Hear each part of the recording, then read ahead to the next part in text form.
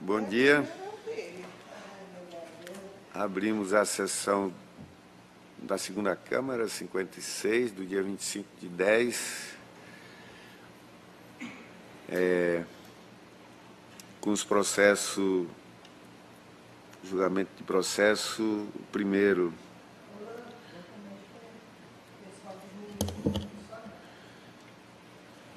É o 23.696 da nossa relatoria, como já tem acordo, vou relatar aqui mesmo.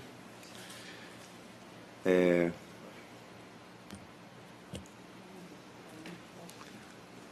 é um processo que apura a responsabilidade do gestor da Câmara Municipal de Porto Walter pelo descumprimento da resolução TCE número 101 de 2016 é, é do senhor Rogério Correia Moraes. Houveram as citações no relatório, nos autos do relatório técnico, o Ministério Público publicou, opinou nos autos. É o relatório, senhores. Senhoras conselheiras, nova procuradora, com a palavra a procuradora Ana. Senhor presidente, senhoras conselheiras, trata-se de processo, de processo aberto por solicitação da titulada Diretoria de Auditoria Financeira e Orçamentária deste Tribunal, DAFO, com vistas a apurar a responsabilidade do senhor Rogério Correia Moraes, presidente da Câmara Municipal de Mâncio Lima, pelo descumprimento da Resolução TCE Acre 101 de 2016, que dispõe sobre as providências a serem adotadas em razão da transmissão de cargos a novos gestores públicos municipais, a análise técnica procedida pela segunda Inspetoria Geral de Controle Externo verificou o descumprimento por parte do atual gestor da referida norma e sugeriu a sua citação. Regularmente citado, o gestor apresentou defesa que não foi acolhida pela área técnica em seu relatório conclusivo de folhas 27 e 29. O processo foi encaminhado ao, ao, a este MPC no dia, ao MPC no dia 13 de setembro de 2017. Compulsando os autos, verifica-se que houve descumprimento da resolução TCA 101 de 2016, com base no seu artigo 4 pela apresentação intempestiva e incompleta das informações, falta passível de aplicação de multa por grave infração à norma legal.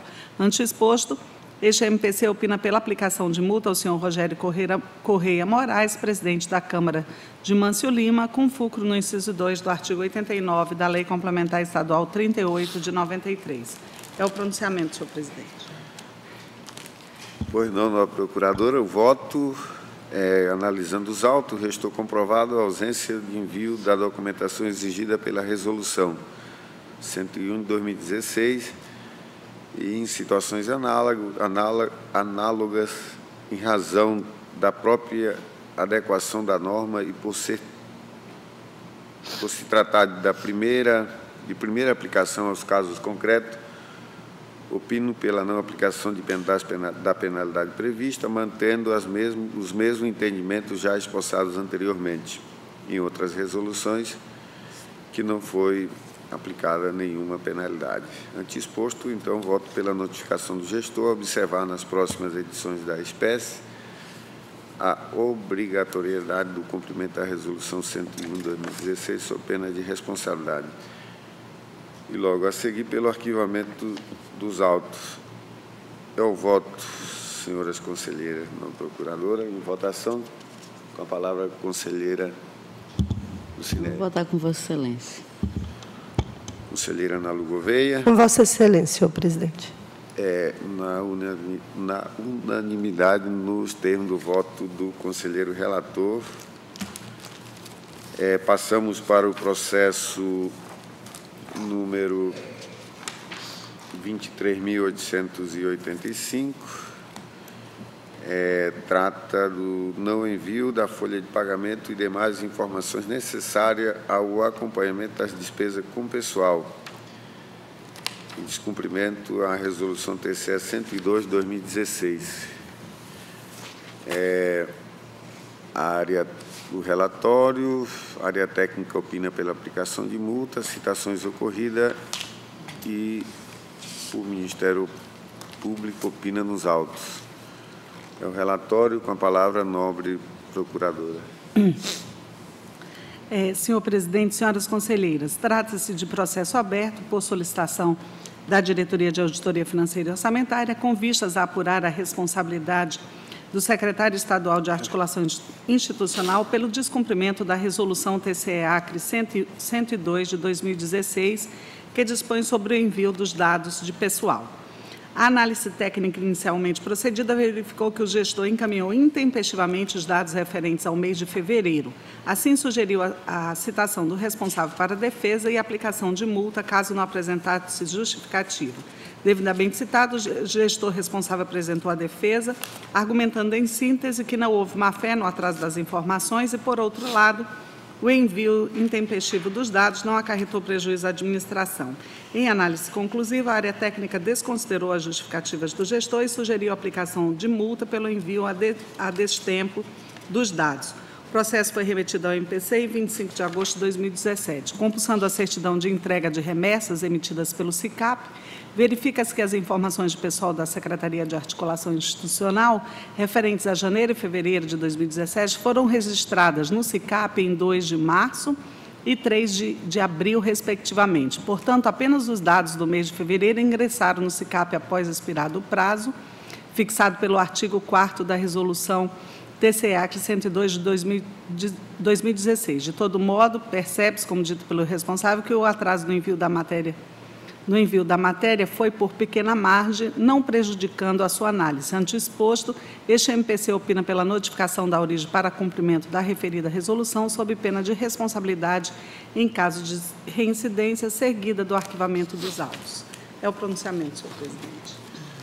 Em votação, o voto é o mesmo entendimento da nobre procuradora pela notificação da origem para observar nas próximas edições da espécie a obrigatoriedade do de cumprimento da Resolução TCE 102 de 2016 sob pena de responsabilidade e logo mais pelo arquivamento dos autos.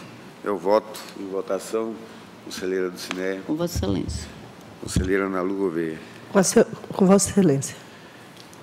Passamos para o processo é, 125.349.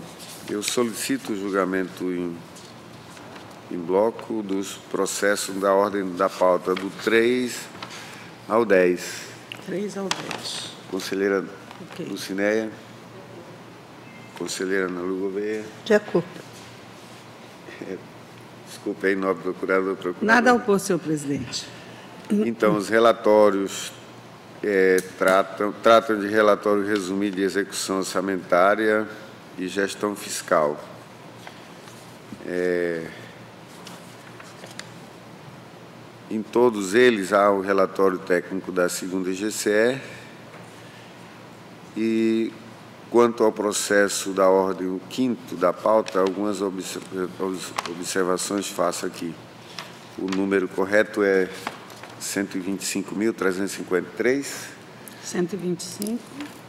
O número correto é esse, e não o que consta na pauta. 123. O responsável pelos atos é o senhor Edivaldo da Costa Tamelo e não o senhor Rony de Oliveira Firmino, que foi afastado. Né? E o Gedeon, que é o atual prefeito de Souza, é, a responsabilidade do atual prefeito é só pelo envio das informações. Parecer ministerial dos processos, em todos os processos. É, passo a palavra à nobre procuradora. Senhor presidente, é, senhoras conselheiras,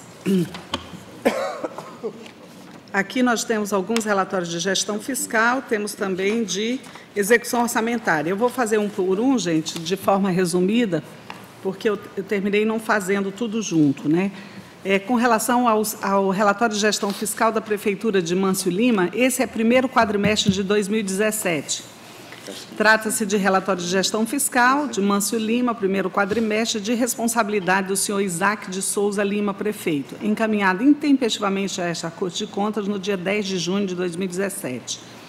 É, a segunda GCE pronunciou-se as folhas 4 e 10, o processo foi recebido eletronicamente no MPC no dia 9 do 10. Compulsão dos autos, verifica-se que a área técnica evidenciou que a despesa total com o pessoal da origem nos últimos 12 meses ultrapassou o limite estabelecido no inciso 3, a linha B, do artigo 20 da Lei Complementar 101 de 2000, registrando dispêndios da ordem de 60,84% da receita corrente líquida, quando o máximo permitido para a espécie é de 54% da mesma base de cálculo. Contudo, observa-se que houve redução do percentual da despesa com pessoal, mas as medidas adotadas não foram suficientes para alcançar o patamar máximo permitido. Ademais, houve transparência parcial na divulgação do presente relatório de gestão fiscal, tendo em vista que foi publicado no site oficial da Prefeitura, mas os dados disponíveis no portal da transparência divergem dos enviados ao tribunal, descumprindo o artigo 8 da Lei Federal 2527 exposto pela notificação do atual prefeito para que adote as medidas necessárias à recondução das despesas de pessoal ao limite estabelecido na Lei Complementar Federal 101, nos termos do artigo 23 do mesmo diploma e para que adote as medidas necessárias para a publicação do RGF no site da Prefeitura Municipal de forma coerente com os dados enviados ao CIPAC. É, o 125.502, relatório é, de gestão fiscal do Poder Executivo do senador Guiomar, referente ao segundo quadrimestre. Esse ainda é de 2016. É, em tese, já estaria arquivado pela papeleta. Mas aqui é, o Mário fez algumas considerações.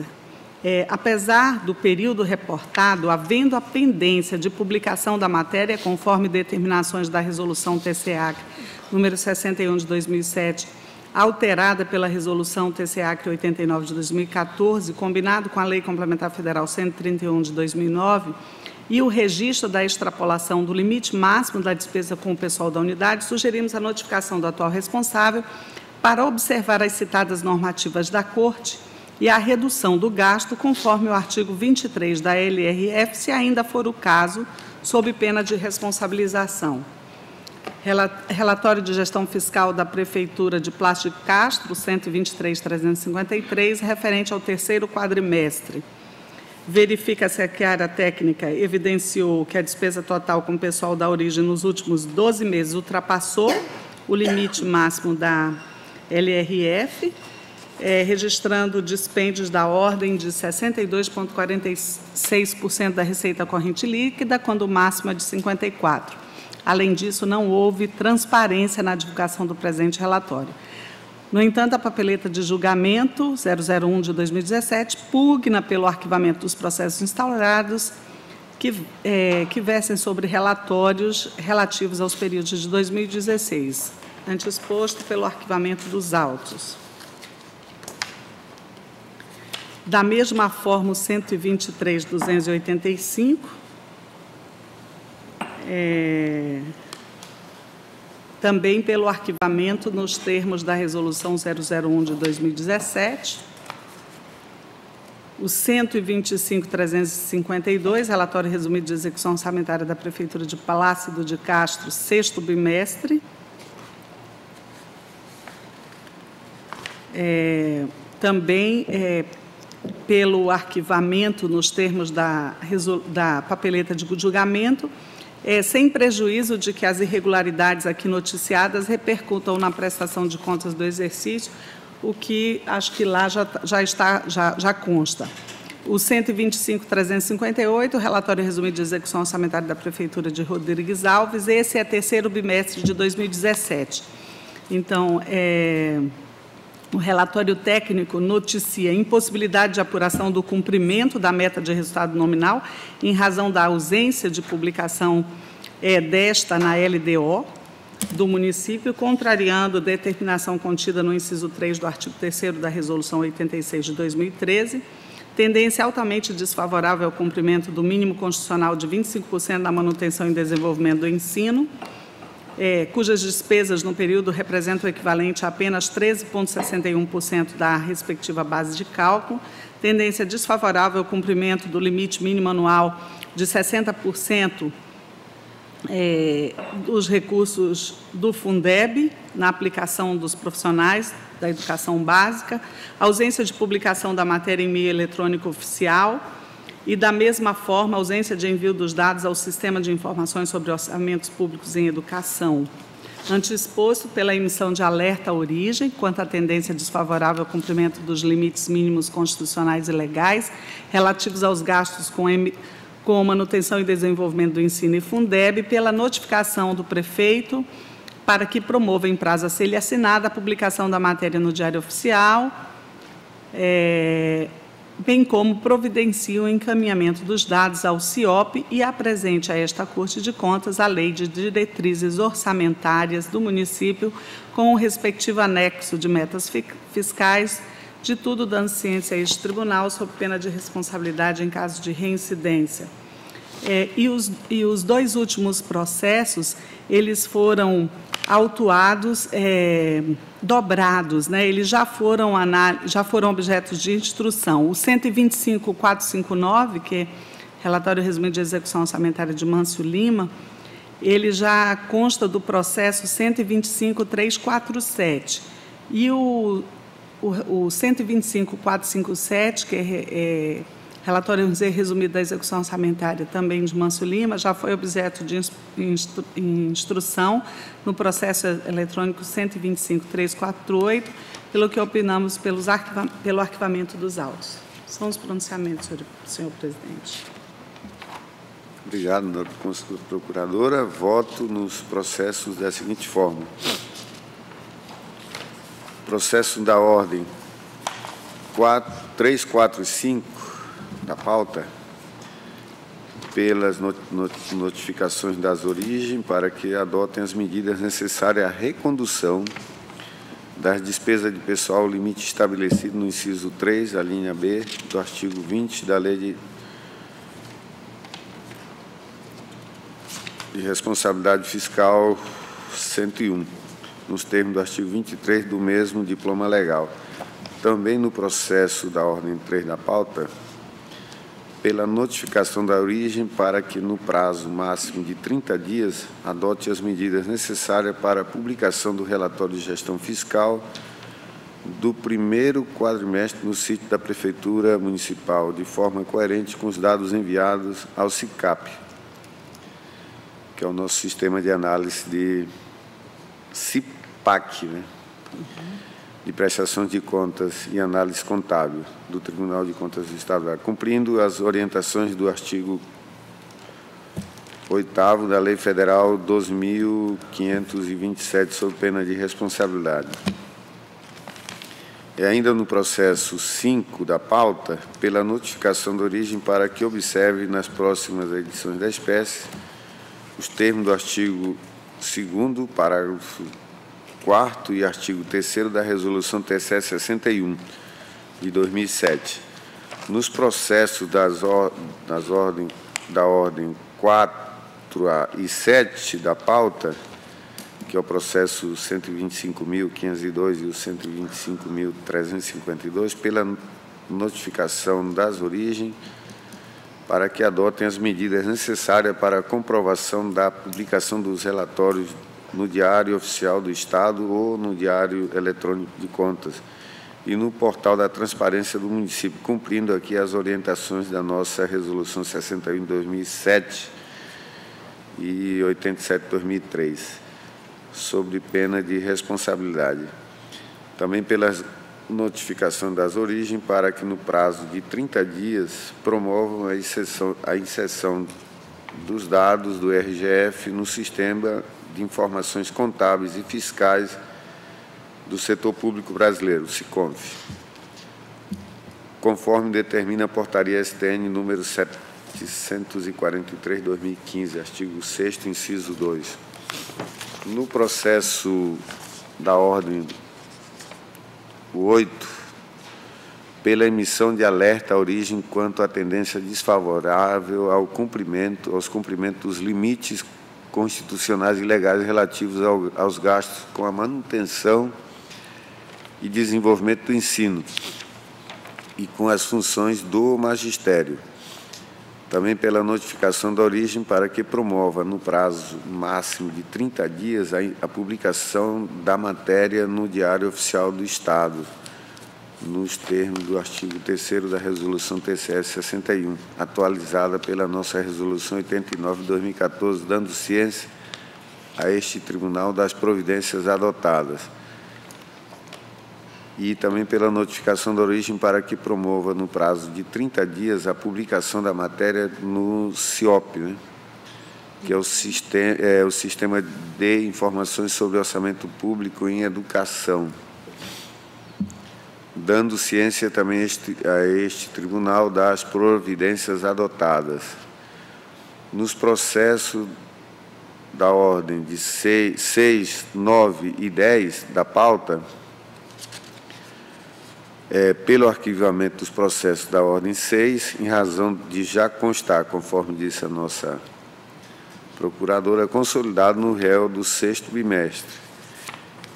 E pelo arquivamento, pelos arquivamentos dos processos da ordem 9 e 10, tendo em vista que os relatórios já foram objeto de instrução, respectivamente, nos autos dos processos 125.347 e 125.348, como bem relatou a nossa nobre é, procuradora. Ainda em relação aos processos da ordem de 3 a 10, é, remeter cópia do julgado para a diretoria de auditoria financeira e orçamentária para acompanhamento e logo a seguir pelo arquivamento dos autos. São os votos. Em votação, conselheira do Cine, como é que vota? Excelência. Conselheira Nalu Gouveia. Voto com Vossa Excelência, senhor presidente. Pois não. Na unanimidade, nos termos do voto da nossa relatoria. Continuamos com o processo 15.064, todos de aposentadoria, do, na ordem da pauta, do 11 ao 15. Solicito o julgamento em bloco.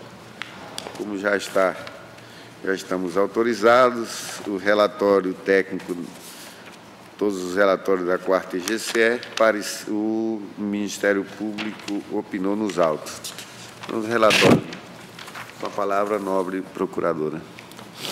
É, senhor presidente, senhoras conselheiras, tratam-se de aposentadorias de servidores públicos do Estado e tem dois do município de Rio Branco, vinculados ao regime próprio de previdência social. É, a análise técnica procedida é, constatou que as concessões atenderem aos ditames constitucionais e legais pertinentes à espécie, é, pelo que sugerimos o arquivamento é, da, da, matéria neste âmbito, até o do disposto no inciso 3 do artigo 61 da Constituição Estadual. São os pronunciamentos em todos os processos, legalidade da, das concessões e registro das mesmas neste tribunal. É, os votos têm o mesmo entendimento, é pela legalidade e registro das aposentarias dos servidores e encaminhar cópia dos feitos para as providências cabíveis ao Acre Previdência e ao RB Prev, né, que são dois. Uhum. Também notificar as partes interessadas do resultado do presente julgamento.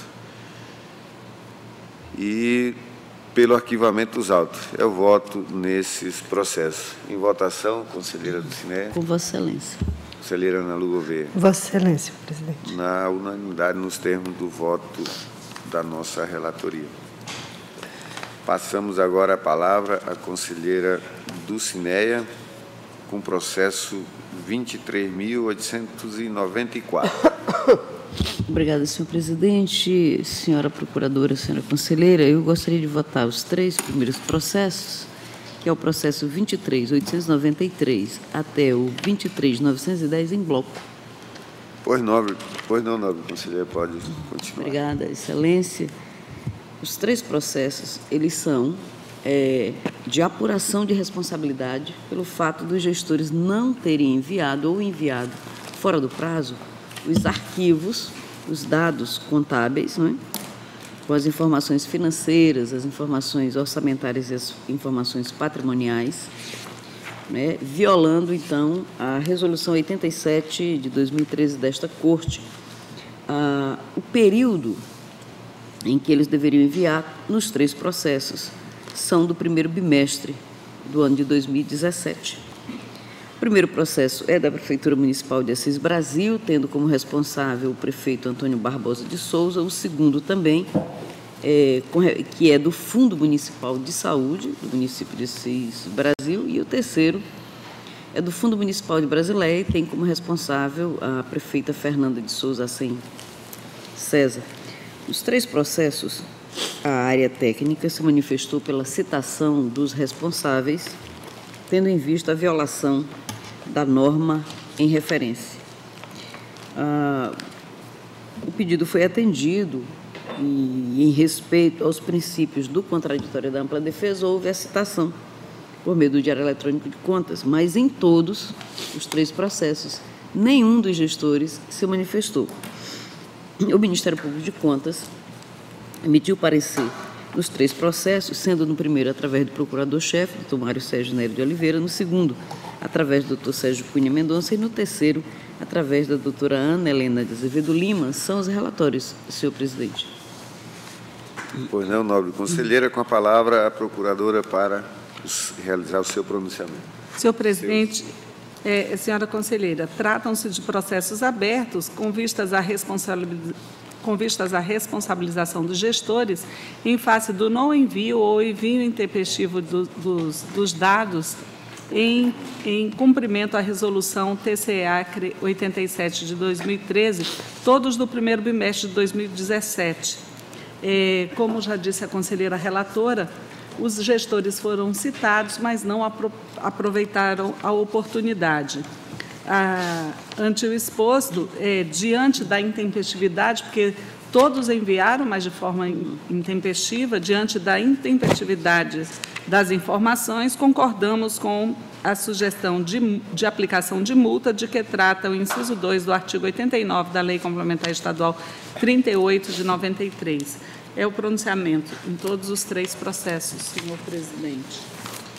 A palavra, a nobre relatora para realizar os seus votos. É, senhor presidente, eu, em, em, caráter excepcional, eu afasto a multa nos três processos, é, tendo em vista que os dados eles foram encaminhados ao tribunal, embora fora do prazo previsto na, na legislação, e assim sendo, voto pela determinação a todos os gestores nos três processos não é, que observem as obrigações previstas na Resolução TCE número 87 de 2013, especialmente o artigo 2 parágrafo 1 sob pena de responsabilidade, nos termos do artigo 19 da, da norma é, mencionada. Remessa de cópia dos acórdãos que vierem a ser proferidos à DAFA para acompanhamento e, após as formalidades obrigatórias, arquivamento dos autos. É o voto, senhor presidente, nos três feitos. Obrigado, nobre conselheira. Em votação. Voto com a relatora, senhor presidente. Da mesma forma, acompanho o voto da nobre relatora. Não unanimidade nos termos do voto, dos votos da conselheira relatora. Que continua com a palavra com o processo 23.759. Obrigada, Excelência. Processo independente é, instaurado para apurar a responsabilidade do gestor pelo não envio em meio informatizado dos dados relacionados à folha de pagamento e ao controle de atos de pessoal da Câmara Municipal de Brasileia. O gestor é o senhor Rogério Pontes de Souza. A norma violada é a 102, que é de 28 de abril de 2016, cujo prazo no tocante à remessa relativa ao segundo bimestre de 2017 era até o dia 30 de maio deste ano. A DAFO, por meio da segunda inspetoria, se manifestou pela citação do responsável pelo descumprimento ah, em observância aos princípios do contraditório da ampla defesa, houve a citação por meio do diário eletrônico, mas o gestor deixou o seu prazo transcorrer sem apresentação de defesa. Em relatório conclusivo, a DAFO informou o envio fora do prazo das informações e, diante do entendimento da segunda Câmara manifestado no acordo número 1230 de 2007 de minha relatoria, manifestou-se pelo arquivamento do feito. O Ministério Público de Contas, em manifestação subscrita por sua ilustre procuradora, doutora Ana Helena de Azevedo Lima, pronunciou-se é, também pelo arquivamento, notificação e arquivamento do feito. É o relatório, senhor presidente. A palavra nobre procuradora. É, senhor presidente, senhoras conselheiros, trata-se de processo aberto por solicitação da DAFO, com vistas a apurar a responsabilidade do senhor Rogério Pontes de Souza, presidente da Câmara de Brasileia, pelo descumprimento da resolução TCA TCE Acre 102 de 2016, que dispõe sobre o envio dos dados de pessoal ao sistema informatizado de controle de atos de pessoal SICAP. A análise técnica inicialmente procedida verificou que o gestor não encaminhou os dados referentes ao segundo bimestre, pelo que sugeriu a citação do responsável e aplicação de multa caso não apresentasse justificativa. Devidamente citado, o gestor quedou-se inerte. Os autos foram devolvidos à DAFO para análise conclusiva, que constatou que, apesar de silente na sua defesa, o gestor enviou as informações necessárias ao acompanhamento das despesas de pessoal, razão pela qual sugeriu o arquivamento dos autos. O processo foi remetido ao MPC em 11 de setembro de 2017. Compulsando a certidão de entrega de remessas emitidas pelo CIPCAP, verifica-se que as informações de pessoal da Câmara de Brasileia referentes a março e abril de 2017 foram registradas no CICAP em 27 de julho de 2017. Com efeito, descumprimento das determinações contidas na Resolução 102 de 2016, configurado pelo envio intempestivo, não prejudicou a análise da matéria. Ante o exposto, este MPC opina pela notificação da origem para cumprimento da referida resolução sob pena de responsabilidade em caso de reincidência seguida do arquivamento dos autos. É o pronunciamento, senhor presidente. Com a palavra, a nobre relatora. Obrigada, Excelência. Eu voto pela determinação ao presidente da Câmara Municipal de Brasileia que observe as obrigações previstas na Resolução 102 de 2016 desta Corte, especialmente os artigos 1 e 4, sob pena de responsabilidade, nos termos do artigo 8 da norma mencionada, remessa de cópia do acórdão à DAF para acompanhamento, e após as formalidades de estilo, remessa dos autos ao arquivo. É o voto, senhor presidente, senhora conselheira. Em votação, com a palavra a conselheira Ana Lu Gouveia. Qual é a relatora, senhor presidente? Da mesma forma, acompanho o voto da conselheira relatora na unanimidade nos termos do voto da relatora, que continua com a palavra com o processo 3.043. É, obrigada, Excelência. Eu gostaria também de votar esses quatro últimos processos em bloco. São três aposentadorias e uma reserva remunerada. Pois não, conselheira. Continue. Obrigada, senhor presidente. O processo 13.043 é a aposentadoria de Maria Francisca de Souza, matrícula 281.344, com proventos proporcionais ao tempo de contribuição no cargo de auxiliar operacional de serviços diversos, grupo 1, letra H, do quadro de pessoal da Fundação de Bem-Estar Social do Acre, Fumbesa. O processo 17.841, aposentadoria a senhora Maria das Neves Alves Simão, da Secretaria de Estado de Educação, a matrícula dela é de 126 365 dígito 1, são proventos integrais, o cargo é de professora PE2, referência a L, a portaria é a de número 324, de 4 de agosto de 97.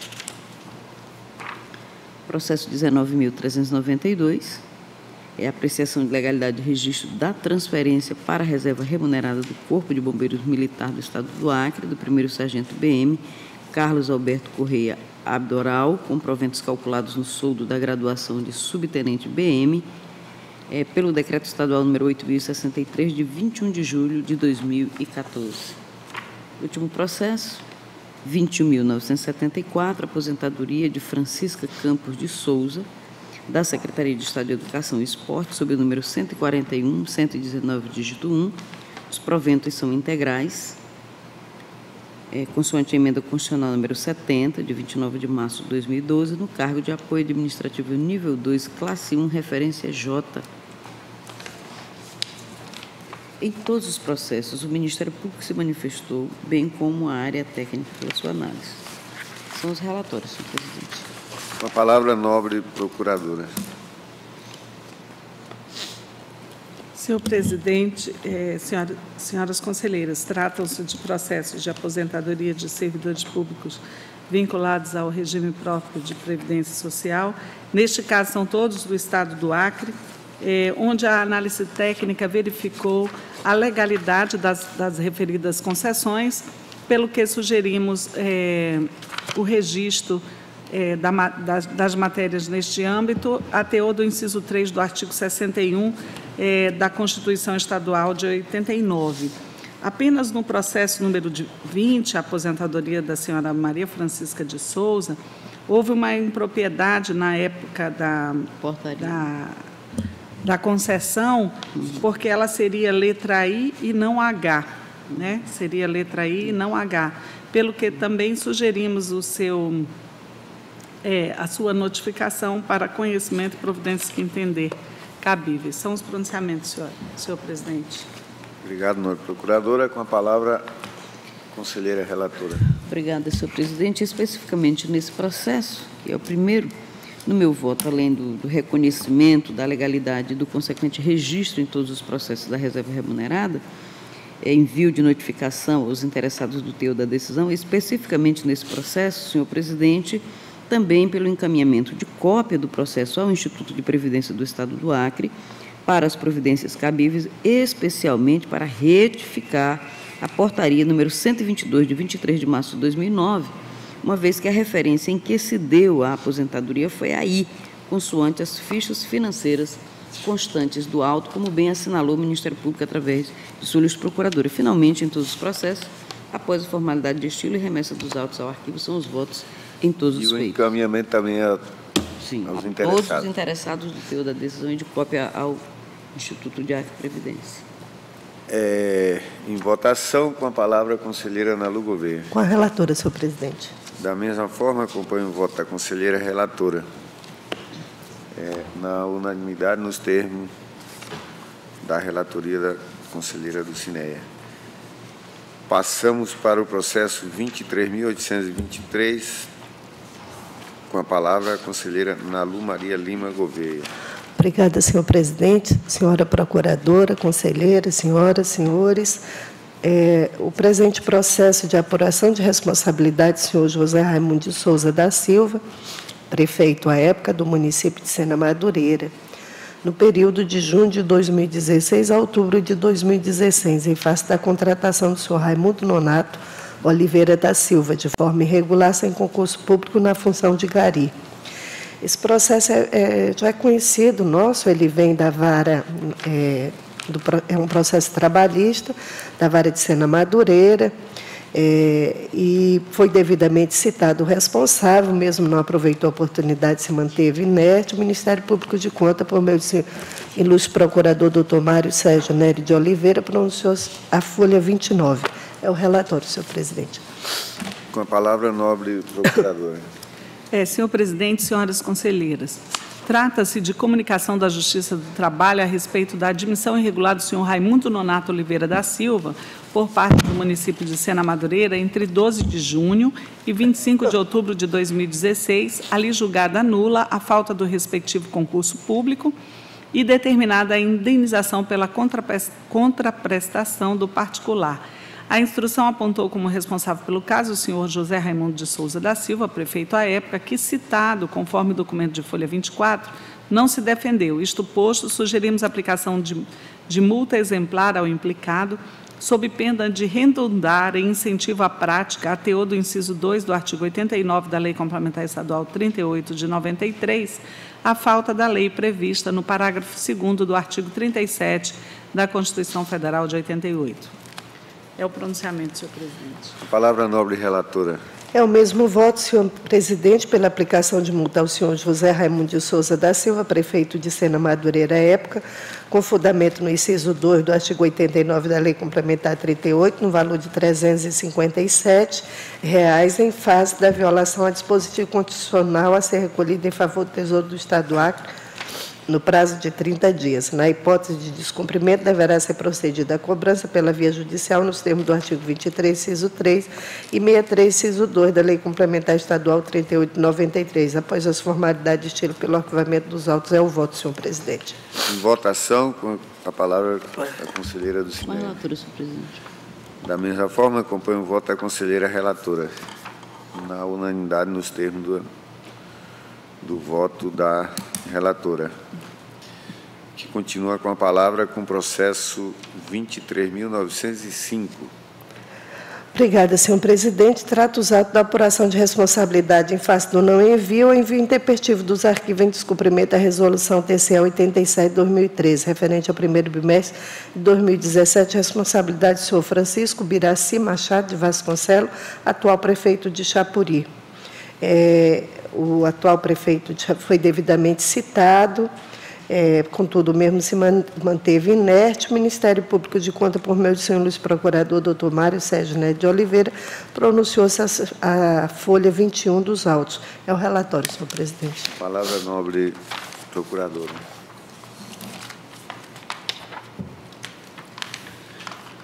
Senhor presidente, senhoras conselheiras, trata-se de processo aberto, de processo de responsabilização do senhor Francisco Biraci Machado de Vasconcelos, prefeito de Chapuri, em razão da falta de informações contábeis, financeiras, orçamentárias e patrimoniais da unidade, referente ao primeiro bimestre de 2017, conforme exigência do parágrafo 1 do artigo 2 da Resolução TCE-ACRE 87 de 2013.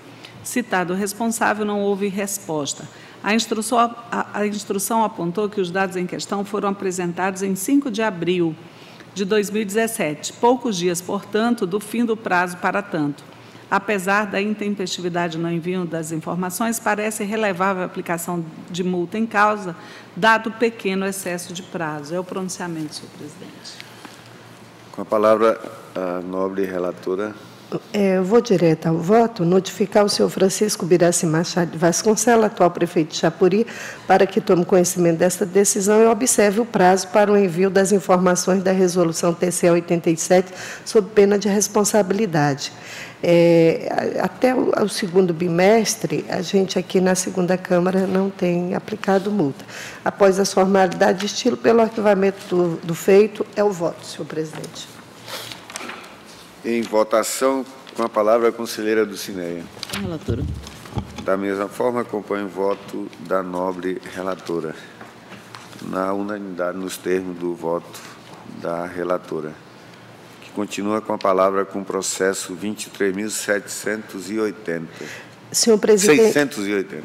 É, esse, esse processo ele vai ser retirado de pauta porque ele já foi votado, já, é, já foi julgado. Com outro, com outro número. Isso. É, foi até uma falha nossa não ter pego o número, mas ele já foi. Continua com a palavra com o processo 23.762.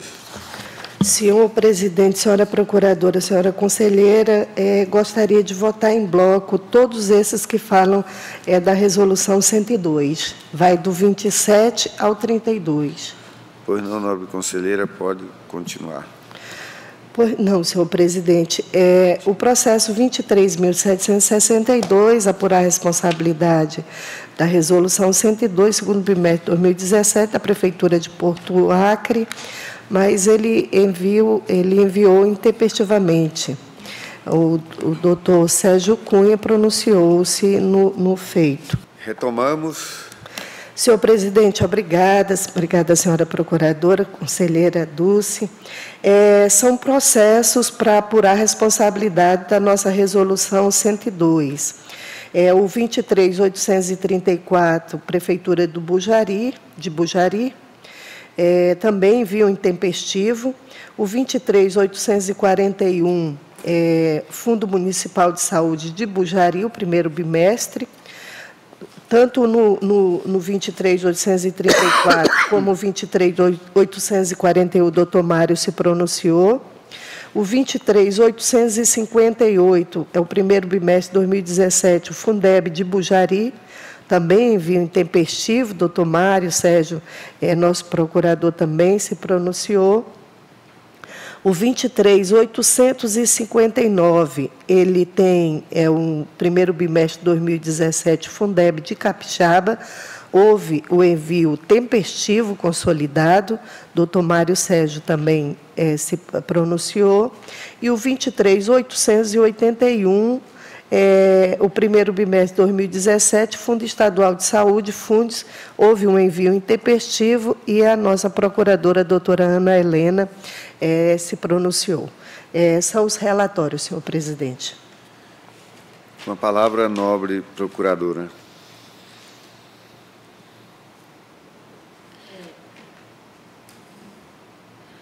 Senhor presidente, senhoras conselheiras, é, tratam-se de processos abertos é, com vistas a apurar a responsabilidade dos gestores em face do não envio ou envio intempestivo dos arquivos é, referentes à resolução TCE Acre 102 de 2016. É, com relação ao primeiro processo, é, é, Prefeitura Municipal de Porto Acre, segundo bimestre, verificou-se a intempestividade, não houve apresentação de defesa, é, mas tendo em vista que não prejudicou a análise dos dados, é, sugerimos o arquivamento. O mesmo ocorrendo com, com o processo da Prefeitura de Bujari, primeiro bimestre, da, do Fundo Municipal de Saúde de Bujari, primeiro bimestre, é, o Fundeb do município de Bujari, também primeiro bimestre.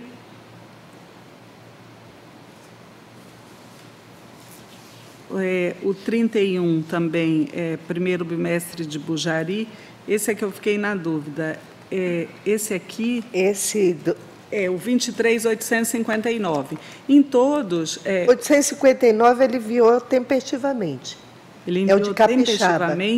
É. Não, eu estou falando Capixaba, mas aqui, pelo menos aqui o que eu tenho. É, é dia 30 de 3 de 2017. Esse aqui. É aqui que está um pouco divergente aqui. Pelo, aqui, pelo que o Mário colocou, é, Fundeb de Capixaba, ele não, ele não enviou, citado o responsável não houve resposta e ele sugeriu a aplicação de multa. Não sei se depois, aqui não tem o, o não tem o conferência. É, não, estou dizendo não tem a, não sei se depois ele enviou.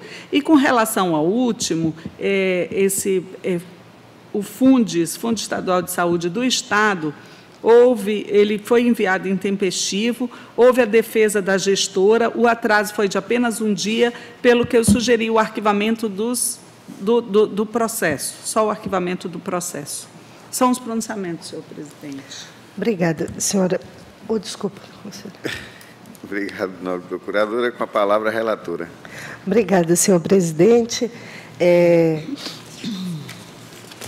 o, o, o processo é, 20, é o 31, que é o 23.859, ele, depois a gente foi ver, ele enviou tempestivamente, consolidado, que é o Fundeb de Capixaba, então, após as formalidades de estilo, pelo arquivamento do feito.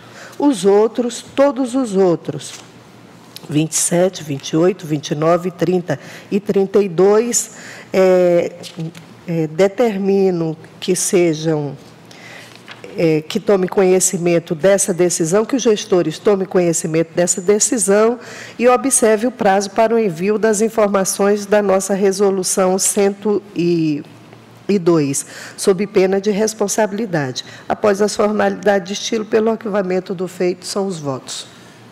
Em votação, com a palavra a conselheira Dulcineia. Com a relatora. Da mesma forma, acompanho os votos da conselheira relatora, na unanimidade nos termos do voto da relatora. Que continua com a palavra com o processo 17.595. É, isso mesmo, senhor presidente, que eu gostaria de votar os últimos dois é, processos em bloco. Prossiga, não, Obrigada, senhor presidente. Tratam de apreciação de legalidade e registro das duas aposentadorias voluntária integral especial por tempo de contribuição, com fundamento no artigo 6, inciso 1, 2, 3 e 4 da é, Constituição, da emenda constitucional 41, mais a emenda 47, o artigo 95 da Lei Complementar 154 a, primeira servidora, Euda Lopes Fernandes Gouveia, matrícula é, aqui colocada no cargo de professora de nível superior, 30 horas, classe 1, referência 1 do quadro pessoal da Secretaria de Educação e Esporte. A segunda servidora, Francisca Raimunda da Costa, no cargo de apoio administrativo nível 1, 25 horas, classe 1, referência 8, também do quadro pessoal da Secretaria de Estado de Educação. Estou devidamente é, é, instruídos pela nossa quarta IGCE com os pareceres do doutor João Isidro de Melo Neto nos dois. É, são, os, o, são os relatórios. Com palavra, nobre procuradora. É, senhor presidente, é, é, senhoras conselheiras, É, Tratam-se de, de processos de servidores públicos vinculados ao regime próprio de previdência social, é, enviados a este tribunal para fins de apreciação da legalidade e respectivo registro. Com relação ao primeiro processo, é, tem uma, uma peculiaridade, é que a servidora foi enquadrada incorretamente é, ela foi enquadrada incorretamente em outubro de 2002. Ela foi enquadrada na B quando seria na A. E isso teve reflexo nas progressões subsequentes. Porém, com a realização do reenquadramento determinado pelo artigo 29 da parágrafo 8 da Lei Complementar 274, ela passou a contar com o enquadramento correto, né? considerando o tempo que dispunha, sanando a irregularidade verificada.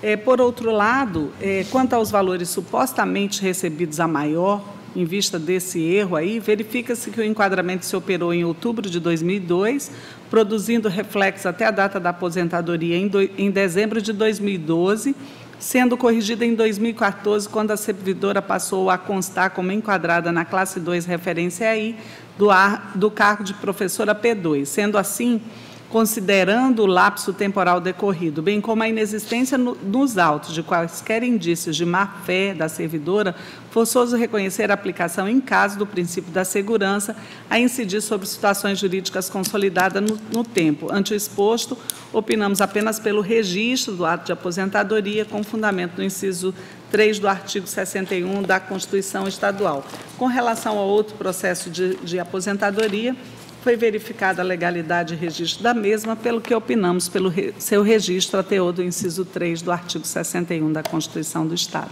São os pronunciamentos, senhor presidente. Com a palavra, a nobre relatora. É, assim sendo, voto pela legalidade e registro das aposentadorias, notificação das servidoras para tomar conhecimento dessas decisões, encaminhamento de cópia do processo ao Instituto de Previdência do Estado do Acre para as providências cabíveis e, após as formalidades de estilo, pelo arquivamento dos autos. É o voto, senhor presidente. Em votação, com a palavra a conselheira do Cine. Com a relatora, senhor presidente. Da mesma forma, acompanho o voto da conselheira relatora na unanimidade nos termos do voto da nobre relatora. Encerrada a votação, passamos é, às comunicações. Com a palavra, a nobre é, procuradora. É, nada a comunicar, apenas dizer da satisfação de voltar, que a Câmara Passei uns diazinhos de férias, já disse para o Polanco como é bom se eu posso ir de novo, né? Agora não vai dar. É, não sei se ele é supersticioso, mas eu já vou registrar a passagem do aniversário do conselheiro Polanco é. amanhã, desejando-lhes muita saúde, muita paz, muito amor, muitas felicidades e que ele possa, que ele continue bastante tempo aqui com a gente, né? Para que a gente possa ter o prazer de contar com a sua presença, com a sua alegria, com, a, com, as encrencas que ele faz de vez em quando e a gente fica chateada, mas a gente briga com ele mesmo assim, né? E desejar tudo, tudo, tudo de bom. Obrigado. No mais, desejar um bom dia a todos. Ah, as encrencas é ótimo. Conselheira. Conselheira do Cine. Obrigada, presidente. Dá um bom dia a todos que nos acompanham pela rádio, nos ouvem. Dizer para a Aninha que sempre é um prazer ela estar aqui conosco e desejar ao meu amigo Polanco, né, que não é só um conselheiro, mas é um grande amigo nosso, muita saúde, muita felicidade, muita alegria junto aos seus e também fazer cor aí com o que a Aninha falou, que é uma verdade, né? É. gosta muito do Polanco, né? Bom dia a todos. Conselheira Malu Gouveia. É, eu também. É um prazer sempre ter a Aninha aqui perto da gente. E, e também o Polanco, o Polanco é uma história né, na vida da gente. Eu conheço o Polanco, eu nem imagino assim quanto tempo, mas, mas tem muito é. tempo.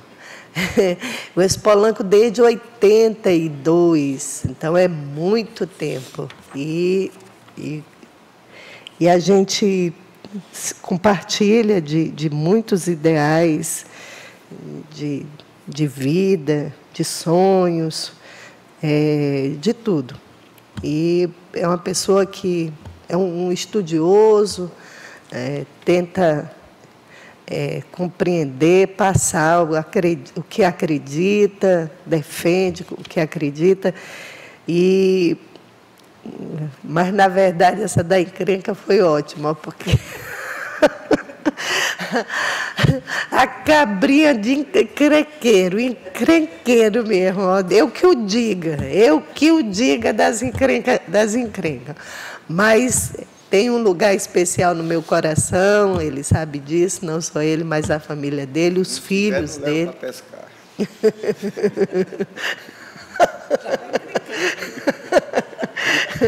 É, com tudo isso, com tudo que ele me faz, mas é assim mesmo. Ele tem um lugar especial no meu coração. Gosto muito dele. E se Deus quiser, a gente possa conviver ainda por muitos e muitos anos.